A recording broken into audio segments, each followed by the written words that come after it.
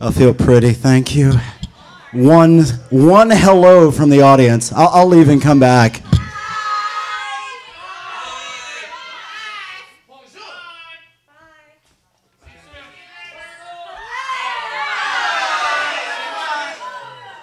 I get it. You're tired from the weekend. It's hard. You're amateur party animals. You'll catch up. Really, new people, just do your drinking on Mondays.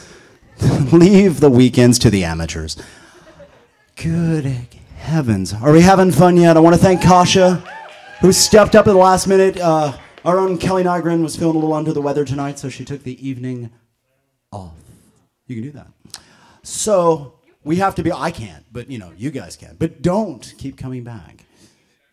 Uh, all right. So, I'm kind of glad. I mean, we we talked a little bit earlier about the holiday, the Halloween show. It's pretty exciting, yeah. It was pretty nuts. It was an all-time record number of people in this room. You could you couldn't move. It felt like it. There was not enough air conditioning to go around. And then after that, a lot of the performers shout if you're a performer and you're in this room. Just a couple of them. We're working for the rest of that week, I guarantee it. I know I did. I know Mr. Slick over there did. I know a bunch of other people were out at event sites. Um, I spent a lot of time playing the devil. I was thinking typecasting myself, but you know, it pays the bills being evil. So I, ha- I have to share with you my, my ultimate experience of being the devil, other than the really awesome sunburn I got being the devil. I've got like reverse horn. Ask me later. I'll show. I'll show you. I'm just saying I should have done sunblock. I had no idea. But I was at a corporate event where they were having us bring people into a party, and I noticed something. None of the kids are afraid of the devil. I mean, not a one. I mean, little kid comes in, looks at me, and goes,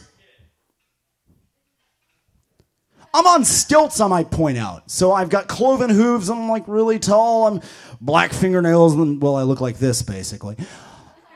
Most of the time, most of the time, you take one look at this, you're a child, and someone's therapist is thinking, summer home. But in this case, no reaction. I'm thinking, what the hell am I doing wrong? And I finally hear the parents talking, and I'm listening to the parents, and the parents say, This is so much better than last year. and I'm listening. Last year they had a clown. No, no, no, no, no, no, no, no. Hang on. Stay with me till the end because it gets so much worse. The clown was a stilt walking clown, so a nine foot tall clown, covered in blood, carrying an axe that jumped out at children.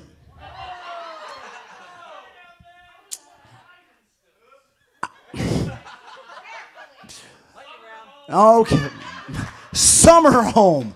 And I'm thinking to myself, that's not the clown, that's the devil dressed up as a clown. And that's when I had my moment. I realized these children have been tortured and traumatized. And so, what my job was to be a clown dressed up as the devil. And I changed, I threw all the tactics out. Next thing I knew, I see someone dressed as a witch, and I teach her spells to keep monsters from getting under her bed. That sounds suspiciously like a nursery rhyme. Just go with it. so much fun I had with these kids and we're rocking out that they invited me to the party. I was supposed to stay outside. They said, no, no, no, get in the party. You're more fun than everything going on there. That's awesome, but you really shouldn't tell me that in front of the person who hired me. Just saying. So they take me down to the party, and there's a dance floor. There's a DJ with nobody there because it's a corporate party, which is to say, music's going, everybody's going. And you're not allowed to drink between three and five at work. Well, okay, I drink at work, but I work here. well, I call this the special torture that keeps me from having to do community service, actually. There I am, and I decide the only logical thing to do is to dance in my stilts with the kids. So the devil can do the electric slide is worthy of note. So I'm rocking on, I'm having a good time. Kids are cheering, all except one little princess over in the corner who has basically adhered herself to what I assume is daddy. Just. and I decide I should walk over there and try to help, being the good clown that I am. And about this time, I remember, oh, dressed like Satan. Okay. So I, I, I lean up against a wall and I go, I go, Dad, come here. And, and he starts the little, now don't worry, we want to show you something. And this is very important. I kind of walk around a corner and somehow there's things that happen. You'll notice this tonight little synergies and perfect moments where people start communicating without saying a word. Those conversations go, you know, yeah, totally, uh huh. I had that, and I and, and the conversation went down. We're going to unfreak your child and save you from having to buy her therapist a summer home, maybe just a small bungalow instead. Timeshare.